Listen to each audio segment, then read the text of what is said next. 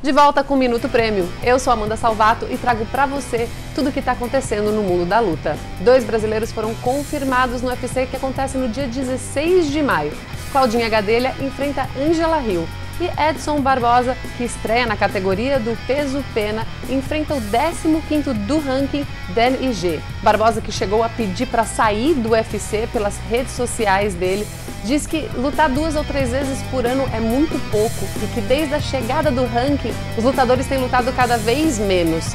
E ele que está aí quase 10 anos com UFC, com 22 lutas, a sua última luta foi uma derrota para Pro Feder em setembro de 2019. Por conta da pandemia do coronavírus que fez o mundo do esporte parar, a ONE FC cancelou todos os eventos do mês de maio e a PFL, aquela organização que dá um milhão de dólares para os atletas vencedores, cancelou o evento de 2020 e agora está focando em 2021. Nesse momento difícil que o mundo inteiro está passando, outro atleta mostrou sua solidariedade. Evangelista Cyborg está leiloando o seu troféu que ele ganhou em 2006 pelo Pride para poder ajudar as pessoas da terra natal dele em Mato Grosso. Não tá fácil para ninguém. Até o ex-campeão Caim Velasquez, que estava aposentado do MMA e agora fazia parte, tinha acabado de assinar com o WWE, foi um dos que foi cortado da liga devido a corte de despesa. Enquanto isso, na Califórnia, o mestre Rafael Cordeiro, que já treinou vários campeões, Fabrício Verdun, Lioto, Shogun, Cyborg, agora está com um atleta novo, ninguém menos que Mike Tyson. Será que a lenda volta para os ringues?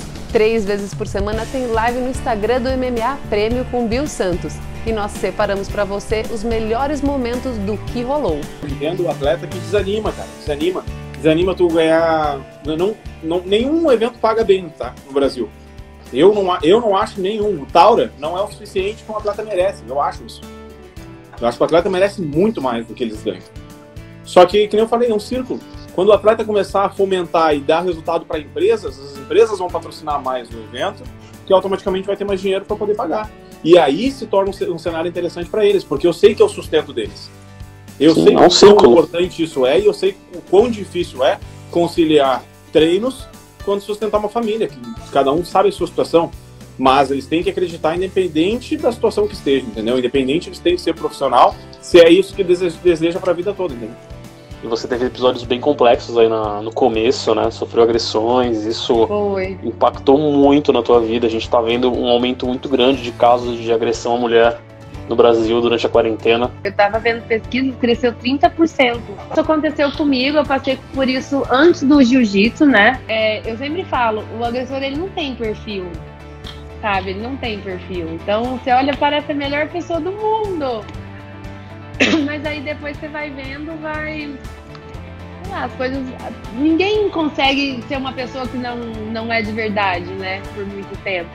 E nós selecionamos três atletas brasileiras que acreditamos serem as próximas campeãs: Amanda Ribas, Vivi Araújo e Ariane Lispic. Qual dessas três você acredita que vai ser a próxima campeã? Deixe seu palpite aqui nos comentários que semana que vem eu falo quem foi a mais votada. Não se esqueça de se inscrever no nosso canal e, se puder, fique em casa.